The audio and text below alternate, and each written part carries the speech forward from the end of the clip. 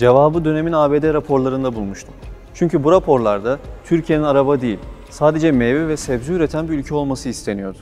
İlk rapor 1948'de ABD'nin Türkiye'ye gönderdiği iş adamı Max Thornburg tarafından yazıldı. Raporun adı Türkiye nasıl yükselirdi? Thornburg, Türkiye'nin çelik pul bile üretemeyen bir tarım memleketi olduğunu, bu yüzden kendi lokomotifini üretemeyeceğini söylüyordu. Rapora göre Türkiye, ithal ettiği ürünleri kendi üretmeye çalışmamalıydı. Bu malları ucuza dışarıdan almak Türk halkı için daha faydalıydı.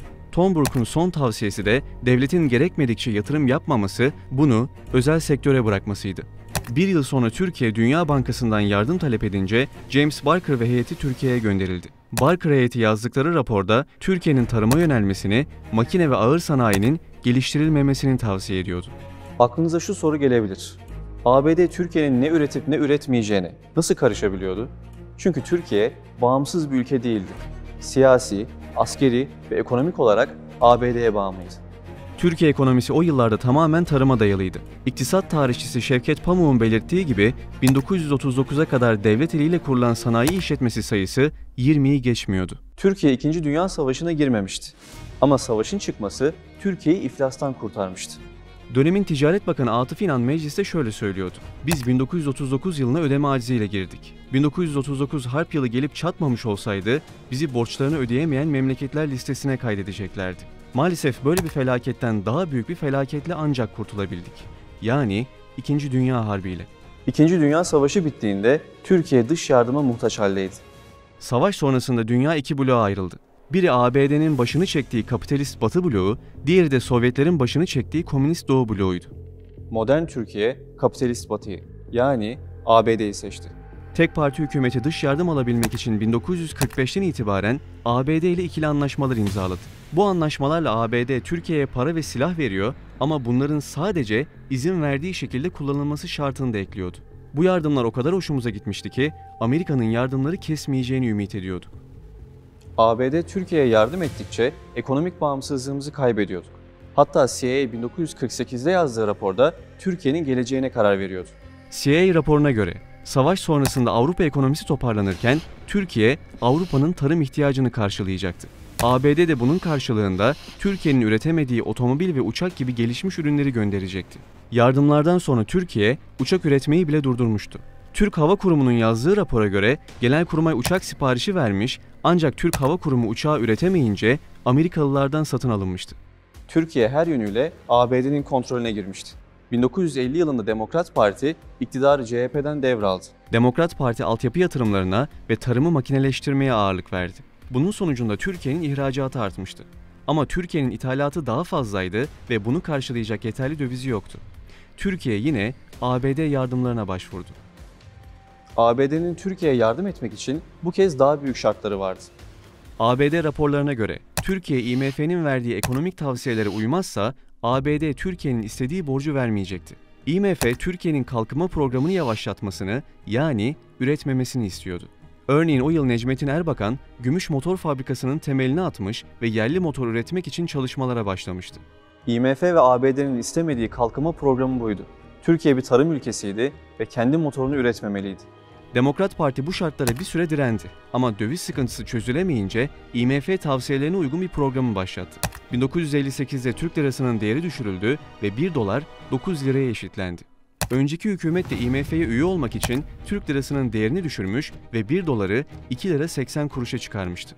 IMF her müdahale ettiğinde Türkiye ekonomisi daha kötüye gidecekti. Erbakan'ın gümüş motor fabrikası kurulmuş ve 1960 yılında seri üretime geçmişti. Türkiye yerli motorunu üretmeye başladıktan sadece 2 ay sonra askeri darbe gerçekleşti ve Başbakan Menderes idam edildi. Darbe hükümeti bir yıl sonra ilginç şekilde Erbakan'ı çağırmış ve Türkiye'de otomobil üretilip üretilemeyeceğini sormuştu. Erbakan, motorlu araç imalatını ve otomobil imalatını ehemmiyetle ele almak lazımdır diyerek Türkiye'nin kendi otomobilini üretebileceğini anlatmıştı. Dönemin Maliye Bakanı ise biz geri kalmış bir memleketiz. Motor şöyle dursun, daha basit şeyleri dahi yapabilecek durumda değiliz diye cevap vermişti. Sonuçta Erbakan'ın otomobil üretilebileceği fikri kabul görmüş ve 3 ay sonra yerli otomobilin üretilmesi talimatı verilmişti. İlk yerli otomobil devrim 4 ay gibi kısa bir sürede üretildi ve 1961'deki Cumhuriyet Bayramı'na yetiştirildi. Cumhurbaşkanı Cemal Gürsel kutlamalarda devrim otomobiliyle gezerken aracın benzini bitmiş ve yarı yolda kalmıştı. Devrim otomobili bir daha da üretilmeyecekti. Türkiye yeniden benzin doldurarak yerli otomobil macerasına kaldığı yerden devam edebilirdi. Ama aşılması gereken daha çok engel vardı. 27 Mayıs tutanaklarında Ticaret Bakanı 3 gruptan bahsediyordu. Biri ithalatçılar, biri yerli üretim yapan sanayiciler, bir diğeri de ithal ettiği parçaları Türkiye'de bir araya getiren montajcılardı. Yerli motor üreten Gümüş Motor, ithalatçıların dışarıdan ucuza getirdiği motorlara karşı rekabet edemedi ve piyasadan uzaklaştı. Sen ne yaptın diyorsun dinle. Ben ağır sanayi yaptım. Siz benim fabrikalarımı, benim fabrikalarımı tahrip ettiniz. Siz bütün ağır sanayi tahrip eden sizsiniz. Yerli üretimin önü kesilince bu kez ithal parçalarla montaj yapan firmaların girişimi oldu. 1966 yılında Koç, Ford'dan aldığı ithal motor ve parçalarla ürettiği Anadolu otomobillerini piyasaya sürdü. Bir yıl sonra Güney Koreli Hyundai, Anadolu örnek aldı ve Ford'la anlaştı. Başlarda Hyundai'de Ford araçların montajını yapıyordu. Ancak Hyundai 1975'te ilk yerli otomobilini, 1991'de ise ilk yerli araba motorunu üretirken Türkiye'de hala montaj yapılıyordu. Türkiye aynı yıllarda daha büyük krizlerle boğuşuyordu. Ekmeğe, süte, ete zam, sigaraya, beze, şekere zam, PTT'ye, demiryoluna, uçağa, otobüse ve daha nicelerine zam. Yurttaşlarımız soruyor olmalılar. Bu ne zaman arkası kesilecek bu zamların diye. Acı gerçek o ki arkası kesilmeyecek. Bunlar daha başlangıç. Süleyman Demirel IMF'den borç almak için Türk lirasının değerini %66,6 oranında düşürmüş ve dolar 15 lirayı bulmuştu. 70'ler boyunca yaşanan petrol krizi, Kıbrıs harekatı ve ABD ambargosuyla enflasyon sürekli yükseldi. 1978 yılında Dünya Bankası Kemal Derviş imzalı bir rapor yayımladı. Raporda ağır sanayinin Türkiye için erken olduğu, Türkiye'nin işe hafif sanayi ve tarımla başlaması gerektiği söyleniyordu. Aradan 40 yıl geçmişti ama Türkiye'nin bir sanayi ülkesi olmasına hala izin verilmiyordu. 1977 yılında üst düzey bir New York bankacısı Türkiye'nin ağır sanayi ithalatını durdurmasını ve Türk lirasının değerinin %75 oranında düşürülmesini istiyordu. Türkler ne yapacak sorusuna bankacı şöyle cevap vermişti. Bizden ayrılmayacaklar, eminim. Durum yakında, umarım seçimlerden sonra çözülecek. Türkler işbirliği yapmaya zorlanabilir. Bir oldu bittiyle karşı karşıya kalacaklar. Oldu bittinin ne olduğu 2 yıl içinde anlaşılacaktı. Önce IMF ile anlaşıldı ve dolar 15 liradan 25 liraya yükseltildi. Ardından bir oldu bittiyle 1980 darbesi yapıldı. Darbeden sonra Türkiye ekonomisi dünyaya açılmaya başladı. Turgut Özal başbakandı ve devletin ekonomiye müdahale etmediği serbest piyasa ekonomisini savunuyordu. 80'lere kadar ülkede yeterli döviz olmadığı için ithalat sınırlı tutuluyordu. Ancak Özal ithalat ve ihracatı serbest bıraktı. Türkiye üretecek, ihracat yapacak, yani dünyaya açılacaktı. Ama ülkenin altyapısı bunun için yetersizdi. 1980'lerde hala elektriği olmayan köyler vardı. Özal ülkedeki birçok köye elektriği ulaştırdı ve yol, liman ve baraj gibi altyapı yatırımlarına ağırlık verdi. Hatta Türkiye, televizyon ve otomatik telefonla Turgut Özal sayesinde tanışmıştı. Özal'ın ani şekilde hayatını kaybettiği 1993'e kadar Türkiye'nin ihracatı artmış ve ekonomisi büyümüştü. Turgut Özal ekonomiye bir süre nefes aldırmıştı. Ama en önemlisi içine kapanık bir ülkeyi dünya ile buluşturmuştu. Artık Türkiye'yi koalisyon hükümetleri ve daha büyük krizler bekliyordu. Tansu Çiller döneminde Türkiye, tarihindeki en büyük kamu ve cari açıkları yaşamıştı. Enflasyon %130'lara kadar yükselerek rekor kırmış, dolar 20 bin liradan 40 bin liraya yükselmişti. 1994'te Türkiye ekonomik krize girince kendini yine IMF'nin kapısında buldu. 1999'a kadar 4 yılda 6 koalisyon hükümeti kuruldu ve dağıldı. Türkiye 2000 yılında IMF destekli yeni bir programa başladı ve 10 milyar dolardan fazla borç aldı ama yetmedi. 2001 yılında Türkiye en büyük ekonomik krizlerinden birini yaşadı.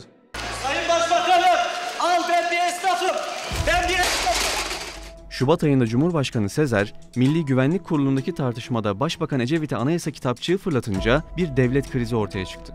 Krizden sonra 24 banka batmış, gecelik faizler %7500'lere yükselmiş, 670 bin lira olan dolar bir günde 1 milyon lirayı aşmıştı. Ülke iflasın eşiğine gelince IMF bu kez ekonomi programı değil, programı uygulayacak ekonomi bakanını gönderdi. Gönderilen isim Dünya Bankası'nın başkan yardımcısı olan Kemal Derviş'ti. Kemal Derviş 1978'de ağır sanayinin Türkiye için erken olduğunu söyleyen raporu yazmıştı. Derviş IMF'nin istediği kanunları çıkarttı ve Türkiye'nin kapılarını yabancı sermayeye açtı. 2002 yılında AK Parti böyle bir dönemde iktidara geldi. Erdoğan ABD ve Batı'ya olumlu mesajlar veriyor, seçimi kazandığı akşam Avrupa Birliği'ne girmekten bahsediyordu. Türkiye'mizin Avrupa Birliği'ne giriş sürecini hızlandıran, ülkemizin dünya ile entegrasyonunu güçlendiren bir ekonomik programın uygulanması konusunda kararlı olan böyle bir siyasi iradeyi inşa etmek için partimiz görev almaya hazırdır. Batı ile ilişkiler geliştikçe Türkiye'ye giren yabancı sermaye rekor kırıyor ve kredi derecelendirme kuruluşları Türkiye'nin kredi notunu yükseltiyordu. Erdoğan Batı ile iyi geçinmek zorunda olduğunu biliyordu. Çünkü Türkiye ekonomisi 80 yıldır Batı'ya bağımlıydı. Kalkınma programı uygulamak isteyen bütün hükümetler ABD tarafından uyarılmış ya darbeyle ya da krizle devrilmişlerdi. Yani ekonomik bağımsızlığı kazanmak için önce ekonomik istikrarı sağlamalıydınız. Sene 1924 1 dolar 90 kuruş. Sene 1992 1 dolar şu anda 8200 Türk lirası.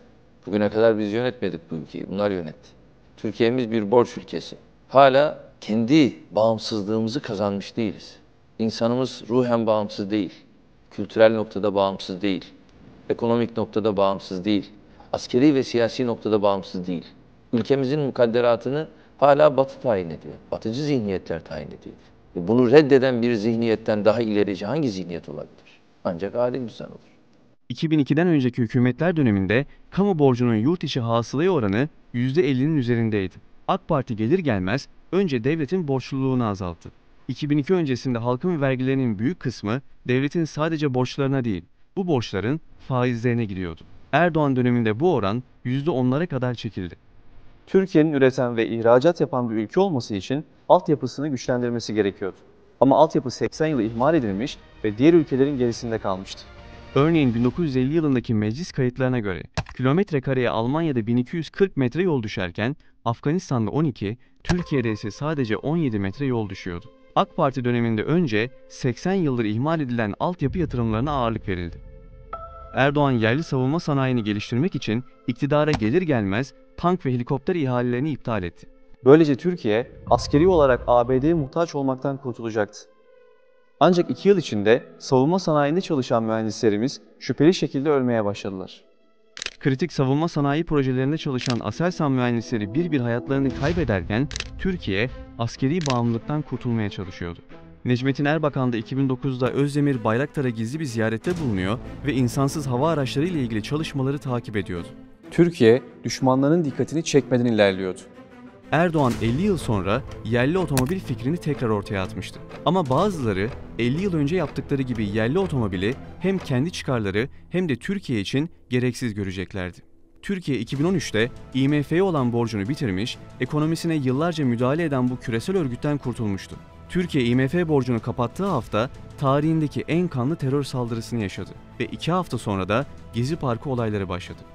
Gezi olaylarından sonra %6 olan enflasyon %8'e, %4,5 olan faiz oranları %8,5'a, 1 lira 80 kuruş olan dolar 2 liraya yükselmişti. Borsa değer kaybetmiş, bir ayda 1,5 milyar dolar para ülkeyi terk etmişti. Türkiye bu dönemde FETÖ, DEAŞ ve PYD gibi terör örgütleriyle aynı anda mücadele ediyordu. 50 yıl boyunca devletin en kritik noktalarını sızan FETÖ, Erdoğan'ı hedef almaya başladı.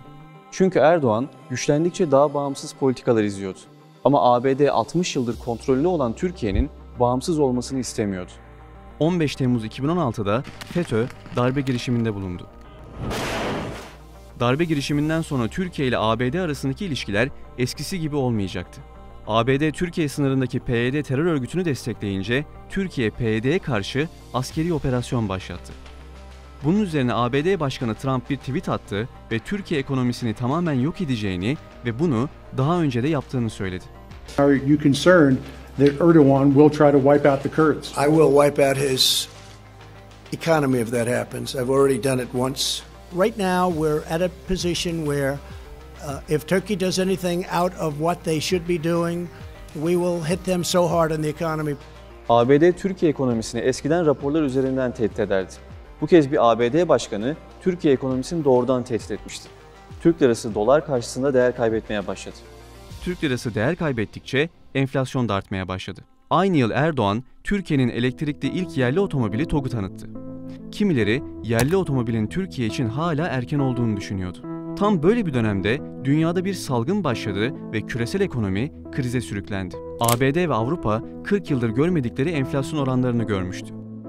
Biz ülke olarak yüksek enflasyona alışık olduğumuz için sadece 20 yıldır görmediğimiz enflasyonu görmüştük. Gerçekten de 1975'ten AK Parti'nin iktidara geldiği 2002 yılına kadar Türkiye'de enflasyon %20'nin altına inmedi. 2018'deki kur krizine kadar enflasyon 15 yıl boyunca %20'nin altında kalmıştı. Salgınla başlayan küresel krizde ülkelerin önünde iki yol vardı. Enflasyonun etkisini azaltmak isteyen ülkeler faizleri artırıp ekonomilerini yavaşlatabilirdi. Ama bu ülkelerde üretim darbe alacağı için şirketler iflas edecek ve insanlar işsiz kalacaktı. Enflasyonun kaçınılmaz olduğunu ama işsizliğin daha kötü olduğunu düşünen ülkelerde faizleri indirdi ve üretime devam etti. 100 yıldır üretmesi istenmeyen Türkiye bu yolu tercih etti. Salgında bütün ekonomiler küçülürken Türkiye, Çin'le birlikte büyüyen iki ülkeden biri oldu. Türkiye 2021 yılında da dünyada en fazla büyüyen üçüncü ülke olmuştu. 2022'de başlayan Rusya-Ukrayna savaşı enerji ve gıda fiyatlarını arttırdı ve küresel krizi derinleştirdi. Savaşın en büyük sonucu doların küresel hakimiyetinin sorgulanması oldu. ABD doları bir silah gibi kullandıkça dolara olan güven azaldı. Yeni para birimleri güçlendikçe Amerikan doları daha az kullanılmaya başlandı ve er ya da geç küresel hakimiyetini kaybetmesi bekleniyor. Bu yüzden Türkiye, Çin ve Rusya gibi devletler yıllardır altın depoluyor. Hatta Türkiye son yıllarda dünyada en çok altın alan ülke konumunda. Yani Türkiye değerini hiçbir zaman kaybetmeyen altına yatırım yaparak kendisini daha büyük bir yıkıma karşı hazırlıyordu. Türkiye dolar sonrası döneme hazırlandığı gibi dolara olan ihtiyacını azaltmaya çalışıyordu. Türkiye'nin cari açının neredeyse tamamı yıllardır enerji ithalatından geliyor. Çünkü Türkiye enerjide her zaman dışa bağımlı bir ülke olmuştu. Bu yüzden Türkiye kendi petrol ve doğal gazını çıkarabilmek için sondaj ve sismik araştırma gemilerine sahip oldu. Bu gemiler 2020'den sonra Karadeniz'de tarihimizdeki en büyük doğal gaz rezervlerini keşfetmeye başladı. Türkiye bu keşiflerle enerjide dışa bağımlılığını azaltacak ve milyarlarca dolar cebimizde kalacak. Böylece dolara olan ihtiyacımız ve bağımlılığımız da azalmış olacak. Sonuç olarak Türkiye ekonomik bağımsızlığını hala kazanabilmiş değil. Çünkü Türkiye bağımsızlığını bir günde değil, 80 yılda yavaş yavaş kaybetti. Başarısız yönetimler üretmek yerine dış yardımları tercih etti. Daha önce kendi uçağını üretebilen ülke yardımlardan sonra üretmekten de vazgeçti. Ekonomide bağımlı hale geldikçe siyasette de bağımlı hale geldik. Türkiye sanayisini geliştirmeye her karar verdiğinde ABD raporlar ve heyetler gönderdi ve Türkiye'nin üretmesine izin vermedi. Bin yıl dünyaya yön veren bir millet geri kaldığına ve hiçbir şey üretemeyeceğini ikna edilmişti. 80 yılda kaybedilen bağımsızlığı hemen kazanmak mümkün değildi. Bunun için önce ekonomik istikrarı sağlamalı ve bir altyapı inşa etmeliydiniz. Erdoğan bunları sağlarken Türkiye'nin bağımlı olduğu güçlerle çatışmaktan uzak durdu. ABD yıllarca kendisine bağımlı olan Türkiye istikrara kavuştukça bunu önlemek için her türlü yolu denedi. Ancak bütün engellemelere rağmen Türkiye bugün birçok alanda bağımlılıklarından kurtuldu. 70 yıl önce uçak fabrikaları kapatılan Türkiye, bugün kendi insansız savaş uçağını üretiyor ve insansız hava araçlarıyla savaşların kaderini değiştiriyor. 60 yıl önce otomobilini üretmesi engellenen Türkiye, bugün kendi elektrikli otomobilini üretiyor ve geleceğin akıllı araç pazarında yerini alıyor. 50 yıl önce beton dökülerek kapatılan petrol ve doğal gaz kuyularından Türkiye, bugün kendi yeraltı kaynaklarını çıkarıyor ve enerjide dışa bağımlılığını azaltıyor. Türkiye bugünlere kolay gelmedi. Ancak zincirlerimizden de tamamen kurtulmuş değiliz. Tam bağımsız bir Türkiye için çalışacak ve üretmeye devam edeceğiz. En önemlisi ise geçmişimizi bileceğiz.